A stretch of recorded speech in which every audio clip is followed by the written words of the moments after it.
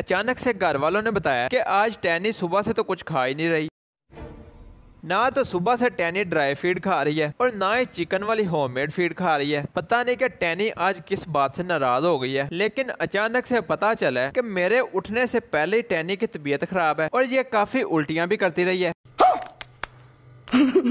जिसकी वजह से टैनी तो बिल्कुल कमज़ोर हो गई है। एक जगह पे बैठे बैठे टैनी की तो हड्डियाँ नज़र आ रही हैं। इसीलिए टैनी को कुछ ना कुछ तो खिलाना ही पड़ेगा। आपको तो पता है टैनी बॉयल चिकन की खुशबू सूंघते शोर मचा देती है। इसीलिए तो छोटा सा बॉयल चिकन का पीस लेके टैनी को खिलाने की कोशिश की है, लेकिन टैनी तो इसे सूंघते ही भाग गई है। इसने तो खाना पीना ही छोड़ दिया